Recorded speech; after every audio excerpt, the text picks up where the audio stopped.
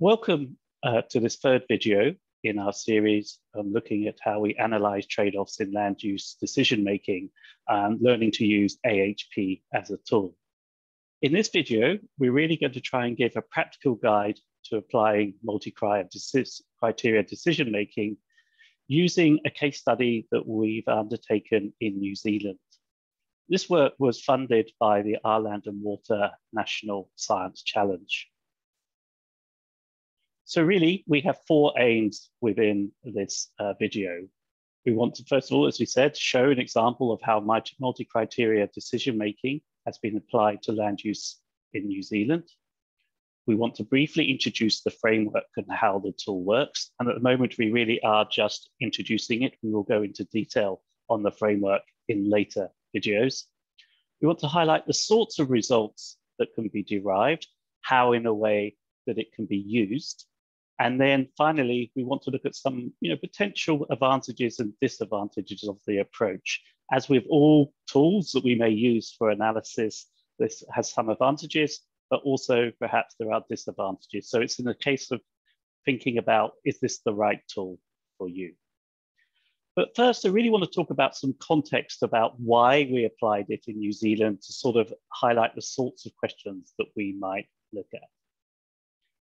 So what we find is that New Zealand has had a very successful growth model uh, in the agricultural sector based on traditional farm enterprises. If you look at our exports and uh, earnings over the last few years, generally we've had an upward trend in the value of these.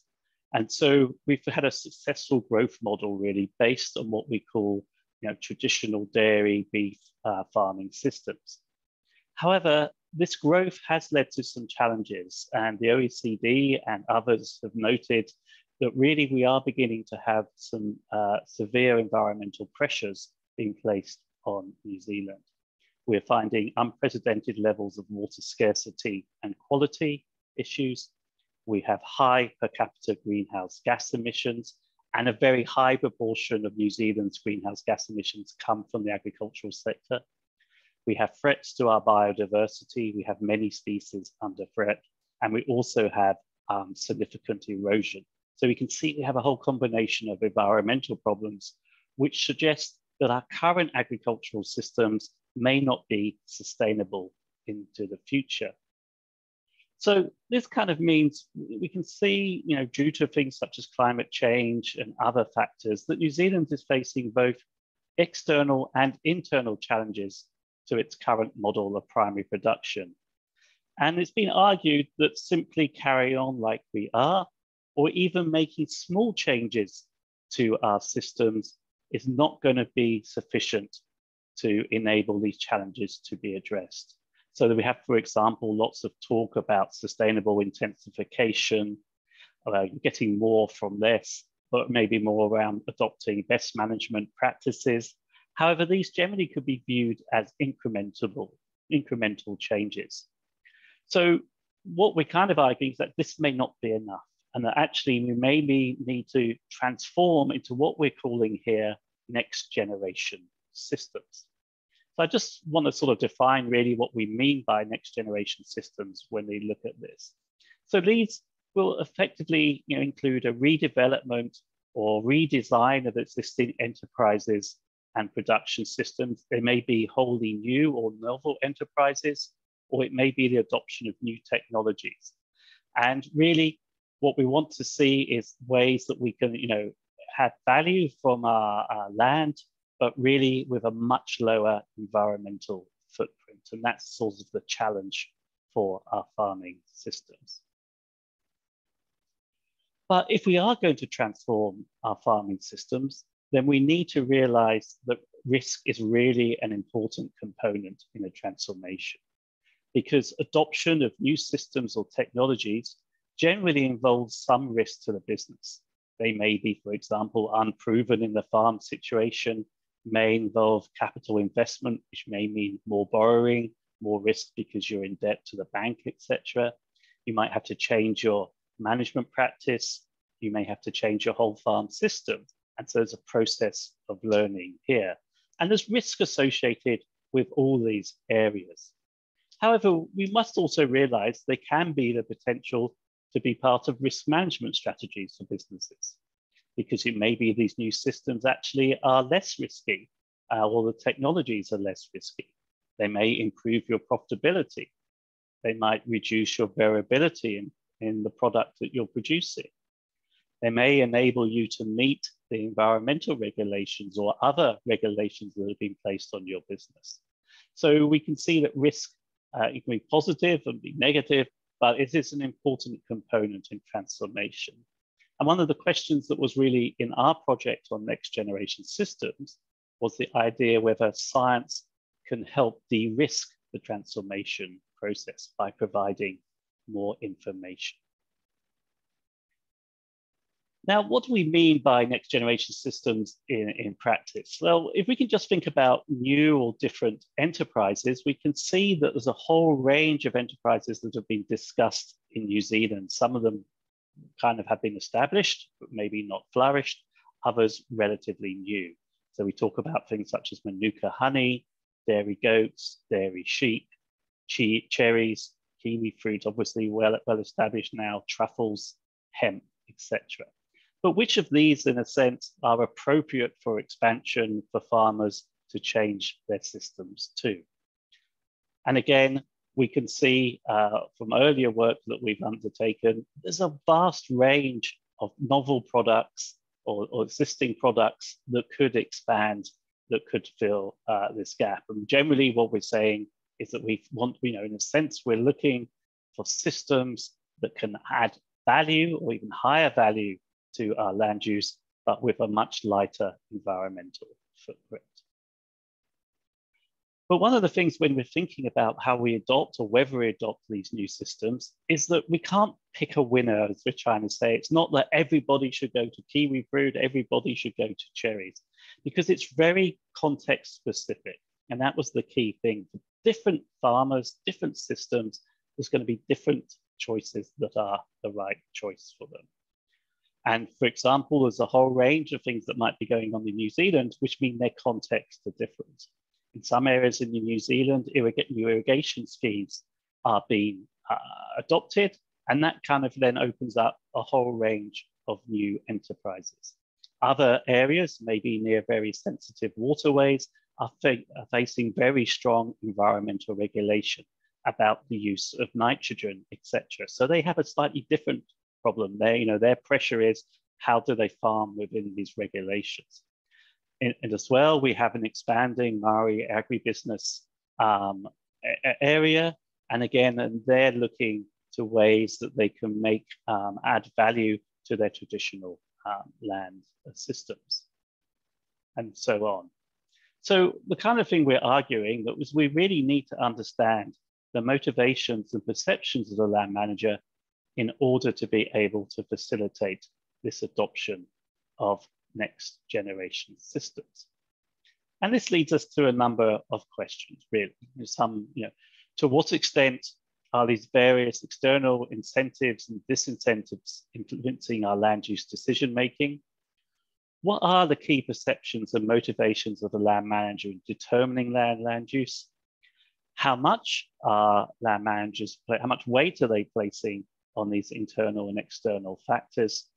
And our general argument about why we undertook this analysis was that we can understand this better, we have a better chance of understanding what's needed in these what we call next generation systems to help facilitate their adoption, which will then help us tackle some of these big challenges we have in New Zealand. We won't spend too long on this now, but effectively we developed a framework um, for thinking about this. And one of the key issues we were looking at here is how, in a sense, this line in the middle, the land manager motivations and perceptions, we're saying there's all this information coming through, all these signals are coming to farmers about change and maybe the need for change. And there's these new uh, systems available compared to their old systems. And really it's about land manager motivations and perceptions related to the characteristics of their land. What can their land actually do? That then, you know, farmers may trial new systems or they may adopt them or not. And the sort of interaction of all these really will determine it. So in our analysis, we're really kind of interested in this land manager motivation and perception part of this framework.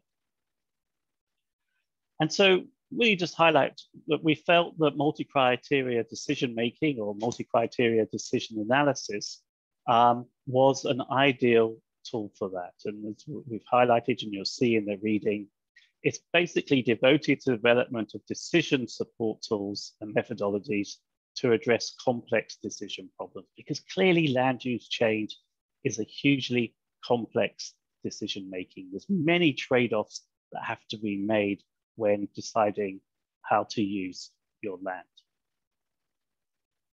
And again, we won't spend too long on this now. We will look in more detail in later videos about how we identified uh, the criteria that were important for us when we were looking at our multi-criteria decision-making framework. Um, but we found really that we put the, the sort of decision into six broad uh, categories what we call domains. And we say farmers think about, land managers think about financial, market, knowledge, regulations, social well-being, and environmental issues when they think about changing uh, their land use or how they use their land. And within these broad areas, there's also a range of what we call subdomains or sub-criteria it may be called. So for example, when we think about the financial, it might be thinking about how much investment you need, what the overall return on that investment will be, how much profitability per hectare you get, how long it takes to pay back, whether that profit's going to be variable, whether or not it's going to diversify your income. So we think, you know, fundamentally, you know, at high level, financials important. At the more detailed level, these individual components are more detailed.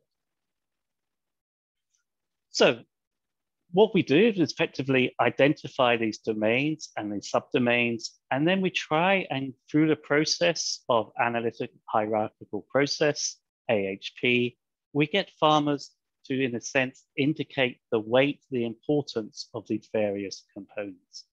So this is an example here where how we use it, just thinking about the level um, of the domain level, so that high level that we were talking about, so financial, uh, environment, knowledge base here. And what effectively analytical hierarchical process does is a pairwise comparison between these issues. So here we have financial performance here uh, against environment, and if we think the financial performance of the new system is going to be more important than the environmental footprint, we will move to the left here. And as we move further to the left, as we will see from these explanations here, it becomes increasingly more important. So as we go from three to five to seven to nine, then financial performance is highlighted as more important than environment. If we go this way to the right, then environment is seen as more important than financial. And again, we move to the right. Don't worry about this too much now. We will talk more about this actual process in more detail when we look specifically. So for example, this is uh, an actual uh, process that we went through with a, a, land manager. And we can see here, for example, when they're uh, comparing financial against market, they basically highlighted much more weight on the financial side. And we can see their choices through this. And through this process, effectively, just using mathematical uh, formulas, we can generate uh, an indication of how important each of these are. So in this example, we can see if we think about the overall decision making being one or 100 or one, we can see that 0.33 of the weight of this would go to financial and knowledge base. So these were the two main areas of importance to this land manager here, environment, regulation, market, much later. So we can generate these weights of how important these criteria are when land managers are making their decision.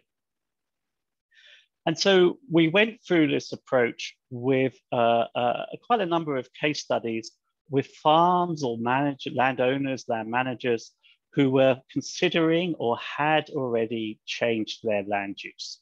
And so we had a range of land managers ranging from small family farmers um, to larger family farmers to corporate, um, had hill farmers, trustees, etc. And we went through this process with the tool that we developed um, to look at their uh, motivations and perceptions through this process. So each time you go through uh, the framework, you generate this set of weights at both the domain level and that subdomain level, those individual criteria that we talked about.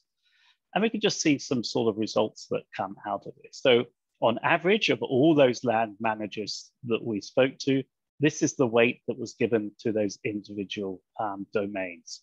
So we can see here that of out of one, you know, 0.2 or 20% of the weight, importance in the decision making was given to financial factors.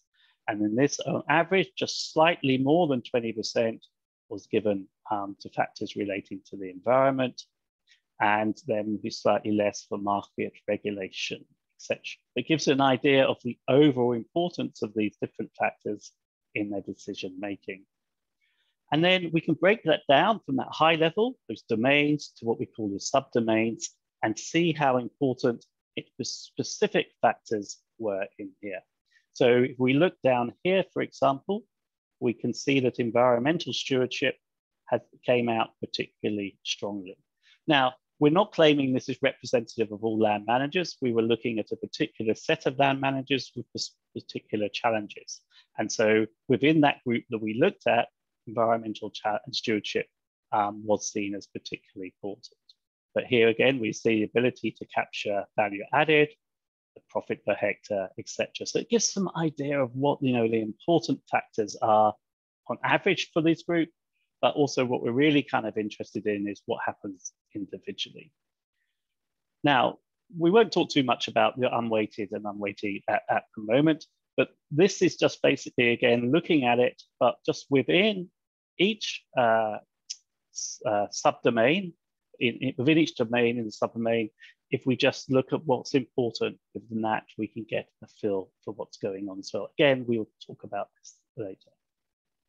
So as I said, it's kind of you know interesting again through this process with these individual managers is that we can begin to compare what it is that's important to them. And this is a graph of the individual results at the domain level. I mean, it looks like spaghetti, um, but you know, it kind of emphasizes our point. People have very different uh, things that are important to them when they're thinking about land use change. And if we have new systems, then they're going to have to sort of uh, fit with the perceptions of the land managers in order for them likely to be adopted. And we can show again this at the subdomain level as well and the importance of the various components in that. So these are the types of outcomes, you know, the, the numbers that come out of using our AHP in this way. But of course, what's more uh, interesting to us and more used for us is thinking, how is it actually being used? So as I said, we've worked with a number of land managers in very different situations. Some have got new irrigation schemes, some under environmental regulation, some trying to work out what to do with relatively land that's relatively unproductive at the moment. Can they make it more productive and so forth? So one thing we can do, for example, is you can use this approach to rate a next generation system against the values, the criteria that farmers feel are important. So in here, you might, for example, identify a number of steps involved in this. You might identify a possible next generation system, identify the criteria as important with the land manager, and weight those criteria overall. So go through that process that we've been through. How important do they think payback period is? How important do they think uh, nitrogen leaching is, etc. And when what we do, so we find out what's important to the land manager here, but then we can go through a process for that system and think at how well it performs within each of those criteria as well. And then we can look at its performance under each of these criteria against how much importance the land manager places on that to get a weighting of each alternative under each criteria. And then in a sense, the closer the system matches the things that are important to the land manager, then the better that system will be. It's a little uh, complicated to think about here, but the there is reading um, in the, at the end, which we will describe, which highlights this in more detail. But we can show this graphically.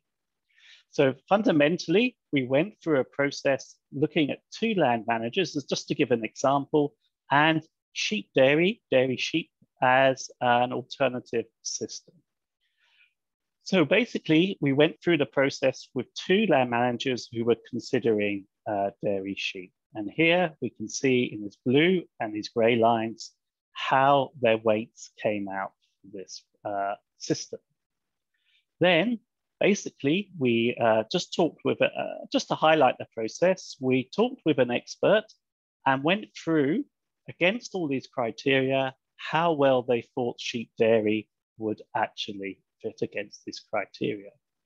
In this system, we just use a sort of a scoring system of one to five, saying if this system fitted uh, that criteria very well, so was it quite profitable, then it would, you know, if it's highly profitable, relatively profitable, it would score highly in this area. And so on, so basically everything was rated out of five. And we can see here, once we normalize this, this is the orange is the scoring for sheep dairy. Okay. So we can see how well it's scored here, and then against how much weight importance was placed on these by land managers. And effectively, we can then, by weighting how well the the system performs against the criteria, by how much weight an individual puts on that criteria, we can develop an overall score for it. So as we said, in this, we were scoring it out from one to five. So the nearer to five that the system scored in relation to our land manager, the better it fitted. Okay, and we can see here, our overall scores were 3.69 and 3.79, which highlighted that it fitted pretty well for both our land managers. As I said, there's more reading on this, but we're just trying to highlight how we can use this tool. So it allows us, and again, if we had a whole range of these alternative enterprises, you know, dairy, goat, manuka, we could score them all against the criteria and the scores weights given by the land managers to see preliminarily which ones fitted better. We can also use it to really give us deeper insights into um, what's actually driving change. So in this example, really we were looking, and again, there's reading at the end, um, in, in the, this is about an irrigation system and about understanding how land managers choose to use that water. And a big issue in New Zealand has been the move to the dairy and some of the environmental pressures with that. So we go through the process and understand in a sense what's pulling people towards dairy and what might be pushing them away. And so we went through a whole load of criteria and looked at this. And also, as you go through the process, and we'll talk about this more, you have a discussion with the land managers, and then you can get into again, it's not just a number when they get this weight, there's a reason behind why that number has been given. And what this uh, allows us to do is to really understand what it is, the motivations that are going on in that decision making. We can understand what's keeping them in dairy or pushing, you know, putting them towards dairy. But you know, we can then begin to understand how environment or regulation issues are beginning to change that decision making. And again, there's a reading at the end on this particular case study, which will give much more detail on it. So we talked about this idea that we were kind of interested in whether science can help. And so it does give us further insight. So again, by going through this process, we can understand what is important to the decision maker. And then we can think about, will new knowledge or information help support the decision maker if they were thinking of changing the system? So for example, we might find um, you know, what's important to decision maker? If they're in an environmentally highly regulated area, it might be the key driver is how much nitrogen is leached from that land system, okay? If we have a new system, do we actually know how much nitrogen is being leached? So we may well be the case, maybe science is needed to show that this new system has low leaching, therefore the farmer, the land manager could be confident in adopting it, yeah? So if we don't know the answers, then what science is needed? Okay. So in some cases, as we mentioned there, it might be about well, production. You know, maybe it's a new crop. People don't know how to grow it. Okay, how suitable it might be for the farm system. As we said before, again, it might be about the environment. What are its greenhouse gas emissions? What's it leaching? It might be actually it's not a production issue, it's a supply chain issue. Maybe there's no processing, maybe there's no logistics. Again, is there actually a market for this? If we have research that helps fill these gaps, then we can reduce the risk to the land manager of trans transforming, maybe not remove it entirely, but if we reduce the risk, then maybe we're going to speed up this transformation to these more desirable land uses. I just want to emphasize again that you know, a key thing about the use of the tool and the way we used it is not just those numbers, those weights that came out, but the fact that there's an interactive approach uh, using our graphical interface and discussion basically allows a detailed discussion of what's driving them. So we get a really a good idea of what the land manager was thinking when they're making their decisions. So it's not just the end number, but the whole process here, and then the quotes about the journey rather than the end. And I think that's the key thing about it. One of the things you can do with analytical hierarchical process, as we said before, is that when you go through the process, effectively it's a pairwise comparison. How important is financial against environment? How important is environment against market, etc. And because it's a mathematical process and you're weighting them, you can begin to work out whether people were consistent in their choices going through the framework. And that can help give you confidence that the results you get are kind of uh, meaningful because they were able to consistently compare the different domains or subdomains that you were looking at. Yeah. And so we were kind of kind of interested to go back after we've used this tool a bit and think about how consistent were they overall? Because if they weren't consistent, it might indicate that the tool isn't particularly useful or may not work that well in our situations. So we are able, um, so we're thinking about things like, you know, how consistent were respondents overall? Did this consistency change as participants went through the process? Or did they get tired because they have to make a lot of comparisons? Were some domains generally more consistent than others? And were some respondents more generally consistent or inconsistent than others? And the question is, is it the final, you know, is it a deal breaker here?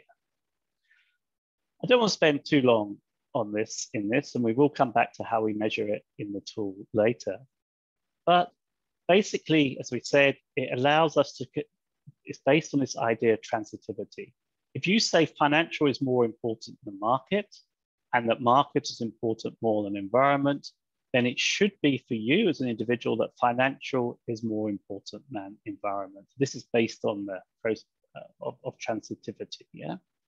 And Saaty, based on this process, I'm a little bit more complicated than that, basically developed an indices, an index, um, and is basically the consistency ratio is from this, from naught where it means you're completely consistent in your choices, to one where you're completely random. Uh, Saaty himself argues if you have a consistency of about 0.1 on that scale, which means you're pretty consistent, then that's relatively acceptable. But there's quite a lot of discussion about it. I just want to look basically about the overall consistency that we achieve. Now, point one is an indicator, which is our blue here we went up to 0.2. So we, I think we saw generally higher levels, or relatively high levels of consistency in our samples, which kind of suggests that the tool works and they are able to use it to make those trade-offs. Now, it did vary between domains, and we will talk more about this may have a, uh, some bearing on how you construct the different uh, domains and what you put inside them. And we will come back to this. Another use, and it has been more widely used, I think, this tool in this way, is that it can help group decision making. Yeah, basically, um, what we did here is with groups of land managers who had control over lands, it might be trustees or others, we basically went through the process with them individually to see how they scored uh, the relative criteria. And then through a process of discussion, we then were able to arrive at an overall um, view. And so we have here in this graph the results for four individuals that um, we were involved in who was trustees of a particular organization and the red line is the group average. So they scored each one individually and then uh, discussed. So what we're trying to argue is that the good use of this is for group discussion making. And in a later video, we will talk much more about how you do this and the advantages and disadvantages of it. But it is a useful tool for thinking with people that are working together over land use decision making. Are they thinking the same? You know, if one has huge uh, importance on financial up here, puts all their weight on here, and another has all their weight on environment, how are they going to get on when it comes to making decisions? Whereas in this group, we can see quite a strong correlation relationship between what they were thinking, very environmentally motivated and socially motivated here. But that's for this particular group. So just want to finish our, our, brief overview of this by thinking about some advantages and sort of um, of, the framework before considering a little bit of some of the pressures. Okay, what we can do with this is identify criteria that are important in influencing the adoption of use systems. And we can draw attention to if these things are important, we need objective information to support decision making. It can highlight where there are potential gaps in our knowledge and where science can help. We can also think about how well a particular system fits with land users' needs. And even if they're in it now, will they have to change perhaps? And can think about how new technologies can shift systems so they better meet the criteria set by land managers. And also we can use it potentially for decision makers at different levels, maybe council, land managers, wider stakeholders, to see on whether or not we can get some agreement about what they want to see from land use.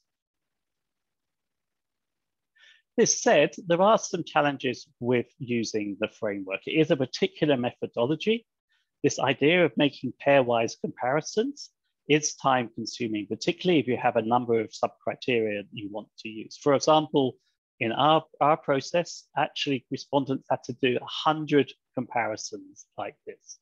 Um, so that can be time consuming. Again, it's not possible to choose all criteria, so choice of criteria is very important. Also, we're always arguing that you can trade one off against the other or not have to make a decision in a way. But some decisions might be more binary in nature, I what we call red lines. You know, it doesn't matter how well it scores on all these other things, all the other criteria. If it doesn't make, for example, this return on the investment, then it's not going to go through. So we're always trying to argue, I guess there's some sort of trade-offs going on here, but some people may have particular red lines. It might be around the environment, it might be around financial, but it might be around supply chain. And so that may actually mean that's a no-go, even if the thing scores relatively well around all the other criteria. And again, this process of trading off, some people found um, difficult. As we see in the quote here, some person felt, you know, there's such a strong link between their social well-being and their financial performance, trying to trade them off is difficult. That said, the for, you know, the process says you can stay in the middle in this case and emphasize they are both equally important to you. Again, there's a little challenge with thinking about making sure that the person you're talking to identifies the criteria in the same way and how you interpret the graphs uh, and how you present the results back. And we will talk more about this in a later um, video. So really what I've just tried to do in this video is present a quick overview of how the framework has been used and the context of New Zealand. You know, in following videos, uh, mainly in module two, we will look more closely at the practicalities of using the framework and how it can be adapted for other uses. And so the things we've talked very briefly about here, consistency, using the tool, etc., we will give much more detail so you can be confident about how you use it. And as I said, there's a number of further reading um, about, about this. So for example, the sheep um, dairy example we can find uh, in this paper, uh, 2.2a, next generation systems. We're looking at the uh, irrigation system, we can find in this one, Central Plains Water, and a more general one, thinking about how the framework's used, we can find here. So this will give you some more detail and hopefully put in context what I've talked about here. And again, as I was highlighting at the beginning, this was um, work funded by the Our Land and Water National Science Challenge. And hopefully you will enjoy uh, the reading materials that uh, go with this video.